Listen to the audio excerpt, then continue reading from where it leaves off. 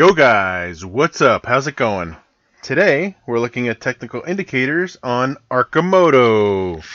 Yeah, FUV, F-U-V. So Arcimoto has a pretty good product. Uh, think about getting one, but not totally sold on it yet.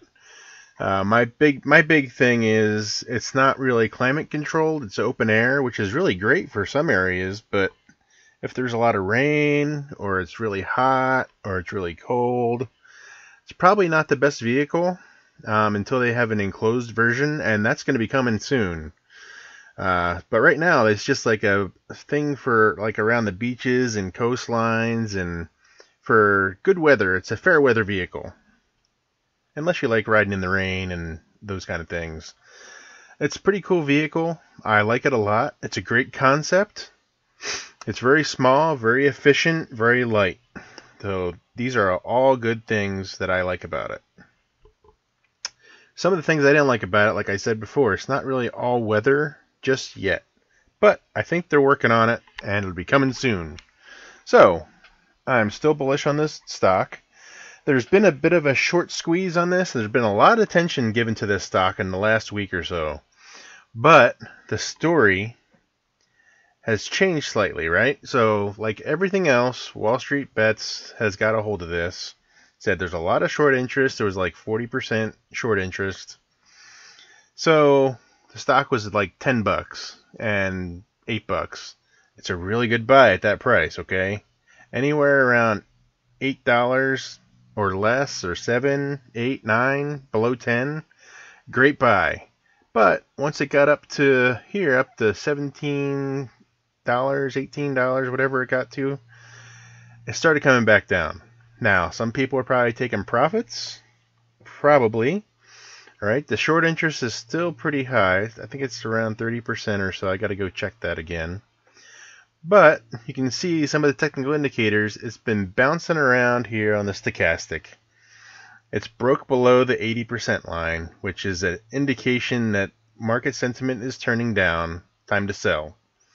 It still has a green. We're still green on the MACD, right? The MACD hasn't turned to the negative yet, and I'm not sure it will. Maybe it will, maybe it won't.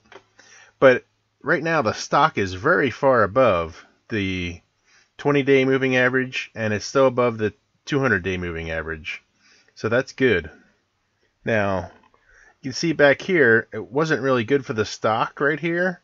Uh, probably this is where a lot of the short interest came in. This is the basically a death cross. And that's not good. So a lot of people probably started shorting the stock and like Wall Street bets picked up on it pretty quickly. And they're like, okay guys, let's uh let's buy this stock up so we can get a short squeeze. So there's still short squeeze potential there, but long term I do like this stock, okay? Short term, long term, my long term analysis says this stock is a keeper. It's in my portfolio. Go check out my other videos. Daily options trade. Uh, I think I might have just done a regular straight trade on this one. I don't remember. Go check those out. But in the short term, it looks like I'm not really sure which way it's going. I think it might go up. I think there might be a more short squeeze left. Uh, the stochastic does cast some doubt on that whole prospect. But these indicators, they can't they can't go. They don't understand the news. They don't understand that kind of stuff. They just go off the technicals of the stock, right? They don't really follow that. So if there's no major news, technical analysis is awesome. But if there's major news that breaks, that could really affect the stock price no matter what the technicals say. So, hopefully you guys get something out of this. Let me know in the comments below if you like this technical analysis. I'll keep doing it or I'll stop doing it. One of the two. But this is what I base a lot of my trades on during the week. And with stocks like this, it's, it's not always helpful, but it, it can be helpful. It's definitely in an uptrend. It definitely hit a high and it's pulling back. So I'm not sure if it's pulling back to consolidate or it's pulling back to come back down. Now it's probably a consolidation for the and the shorts are going to have to start covering here pretty soon because it's got a pretty good run. It was a 50%, right? So a 50% loss. That's huge on the books. So they should be getting called out.